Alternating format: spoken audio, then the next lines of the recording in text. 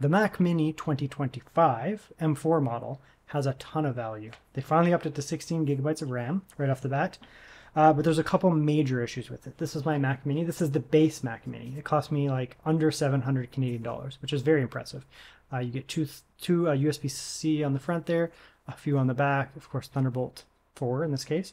HDMI. Uh, you get Ethernet there, uh, and then you get power. Cute little package like that. Now there's one primary issue with it, it doesn't have enough storage. 256 on the base. It's useless. It's actually useless.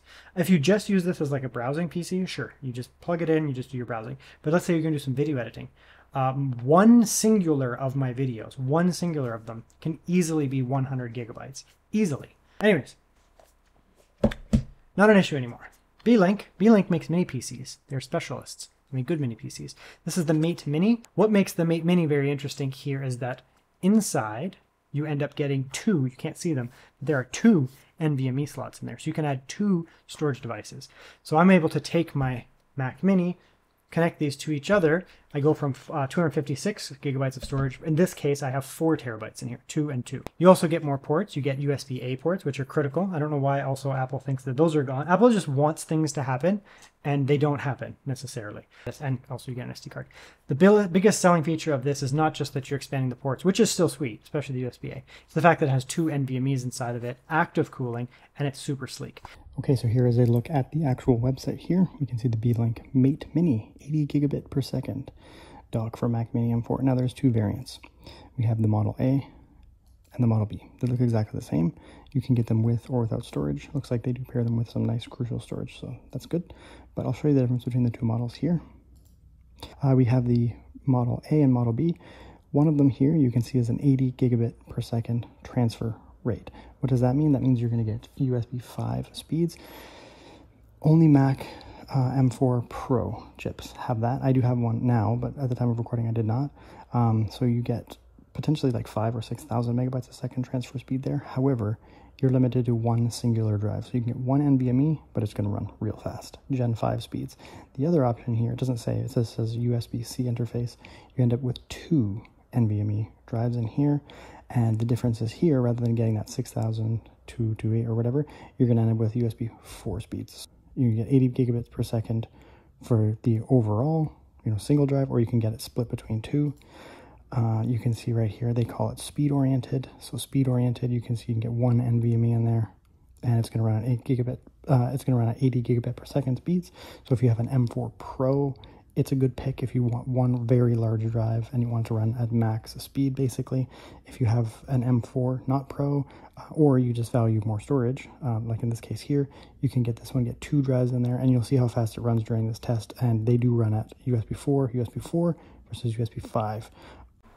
Okay, so here's a look inside. It's pretty straightforward to get open. Um, this was in here, like that, like that. So you just flip it over, you take off the feet. One, two, three, four. Open that up and then you get inside here. Now this is not the type of like, it's not an enclosure, an enclosure like ugh, something like this that you're going to be just swapping in and out constantly, or you just open it up and swap drives in as needed. That's not what this is. This is more of a permanent solution. I mean, it's not actually permanent. You can change it as you want, but it's something that you're probably going to put in your drives and you're going to leave them in there um, because they offer you know massive increase in performance and that. Now, um, you'll basically put this in here like that. I'm going to put in two drives. Uh, this plugs back into here. And then once they're in here, I mean, you're probably not constantly swapping your drives. I mean, you could if you wanted. Why? This is uh, how I would set it up. Now, one of these drives is for video editing because the Mac Mini is like, the real value on the Mac Mini is the base, right? So one of them is going to be on the, uh, one of them is going to be for video editing. Why can I cannot speak. And the other one is going to be for, I don't know, games and stuff, I guess, just whatever. Okay, we'll put that back on. This rubber, or foam piece here goes towards the direction of the thing, so that just goes back there. I mean, that's basically it, right? Where's my little dongle? I'm to plug this in because I want to have access to my mouse and keyboard. I don't like Bluetooth because it's unreliable.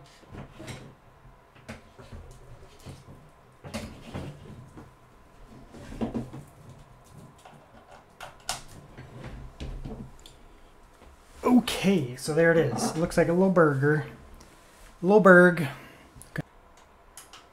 Bum bum ba ba ba ba ba ba ba ba ba ba. Bum ba ba ba ba ba ba ba ba ba. Ba ba ba ba ba ba ba ba ba ba. Okay, so there we go. First things first, the USB-A works. Isn't that funny? Isn't that a thing that people still want?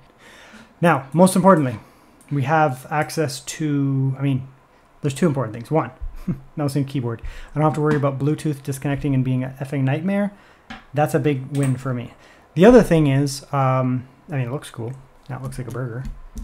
We do get access to SD card. You can pop in there and work directly off that. It's funny because Mac users are like, not always. I mean, a lot of them are just whoever's, but I mean, a lot of Mac users are actually creative types, right?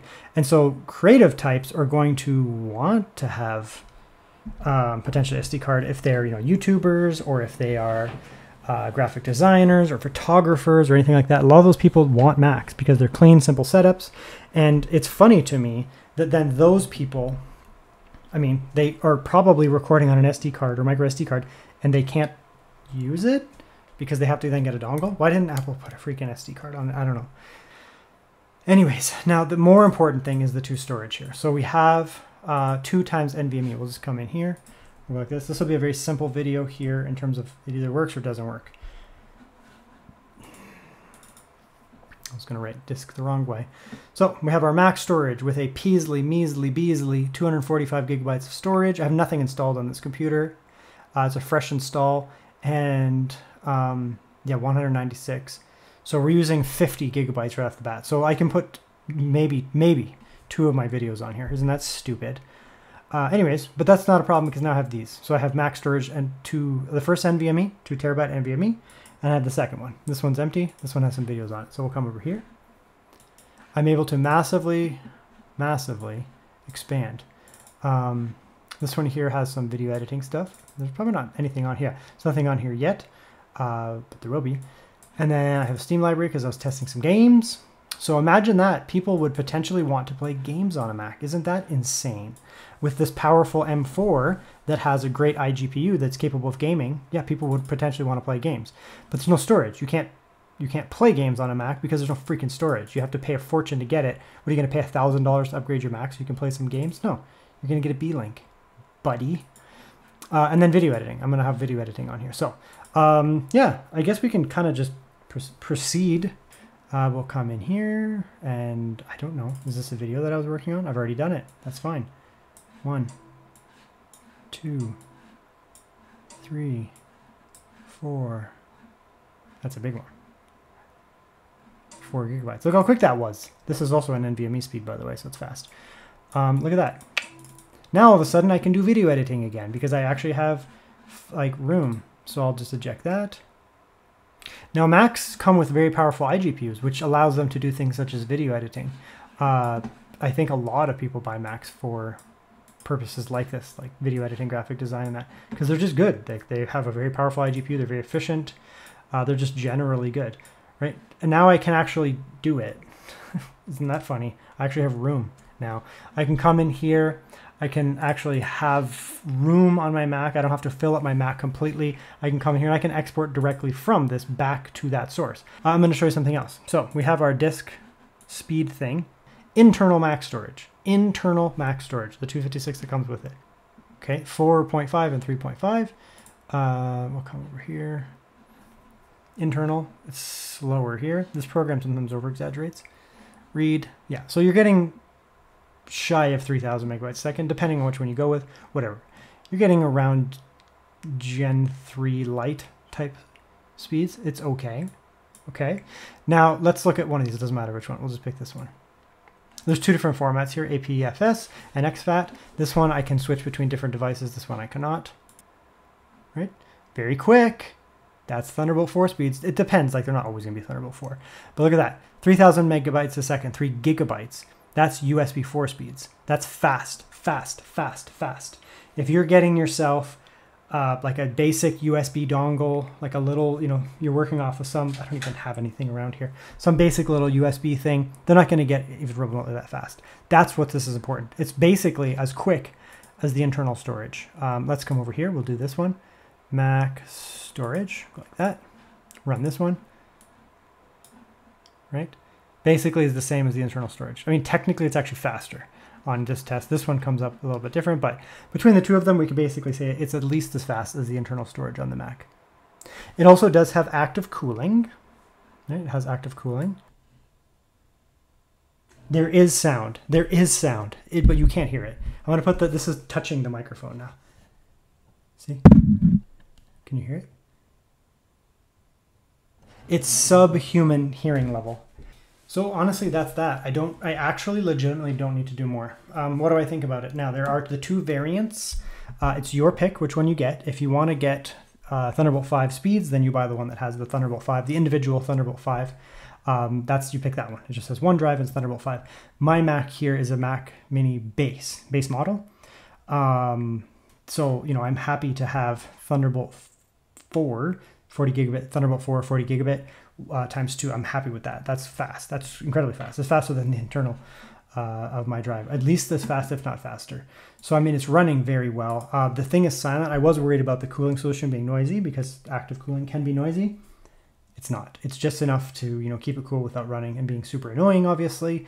And then, of course, you do have also expansion. So, I mean, it's Beelink. They have a strong reputation. I've done many of their mini PCs. I mean, if you watch my channel, you've seen them. Other people, I'm sure, you've seen Beelink around. They've had they are very popular in the mini PC mm. space. And you know, I guess now they're making some Mac Mini accessories because they're good at mini stuff. So why not do Mac Mini stuff? So very good. It's a good product. I like it. Very good.